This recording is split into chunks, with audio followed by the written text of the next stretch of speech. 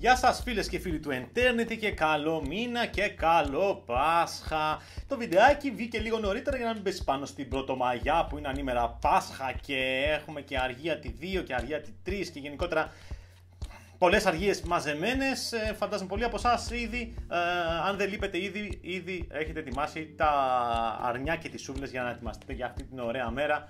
Ε, όπως και να έχει όμως ο Μάιος είναι ένας μήνας που έχει κάποιες σημαντικές κυκλοφορίες, οπότε μην καθυστερούμε, πάμε αμέσως τώρα να τις δούμε.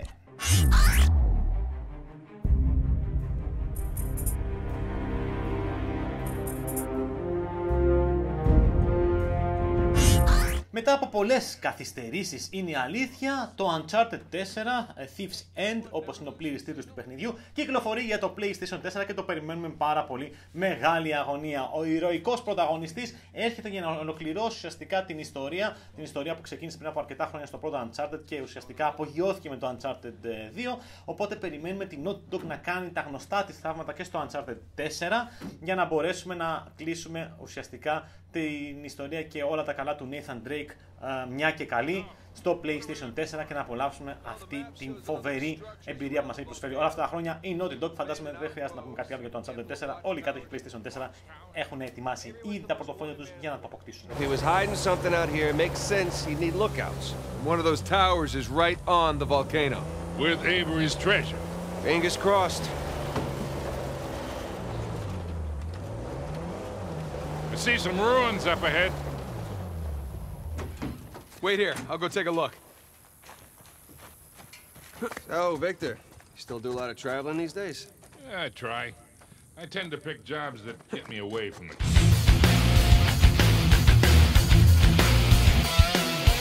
Μετά από πάρα πολλά χρόνια το Doom επιστρέφει. Επιστρέφει, δρυμύτερο δεν ξέρω γιατί από αυτά που έχουν κυκλοφορήσει από την beta που έπαιξε πριν από μερικές εβδομάδες, πολλοί κόσμοι είναι απογοητευμένος και λένε για το Doom και κυρίως για το multiplayer κομμάτι του ότι δεν είναι uh, το Doom που περιμέναν το Doom της ID, ένα παιχνίδι το οποίο έχει όλα αυτά τα καλούδια και τις διαφορετικότητες σε σχέση με τα υπόλοιπα first person shooters. Παρ' όλα αυτά είναι Doom και εμείς οι παλιοί gamers που είχαμε παίξει και το πρώτο πριν, δεν ξέρω, 30 χρόνια, ξέρω κάτι τέτοιο, εντάξει, πολλά είναι τα 30 χρόνια, ή 20-25 χρόνια σίγουρα, ε, θα περιμένουμε πώς και πώς να κυκλοφορήσει σε PC, PlayStation 4 και Xbox One για να παίξουμε το καινούριο Doom για να σκοτώσουμε όλους τους περίεργους εχθρούς που αυτό συνήθως έχει.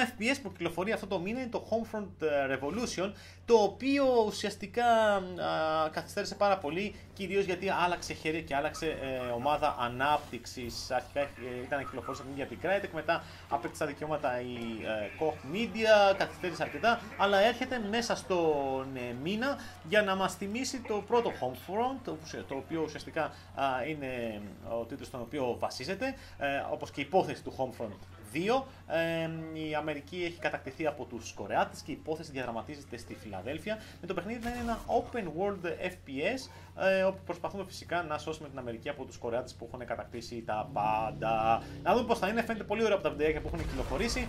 Ε, το περιμένουμε και αυτό με αρκετά μεγάλη αγωνία και κάποια στεράκια για να δούμε πώς θα βγει η αλήθεια.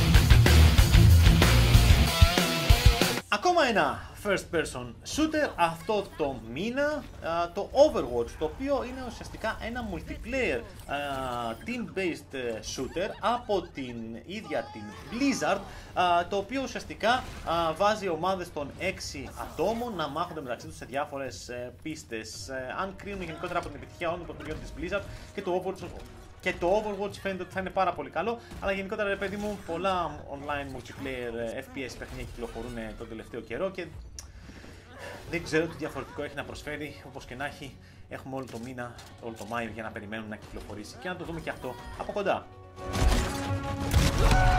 You didn't make the cut. I've got you in my sights. Target rich environment. Get the payload moving.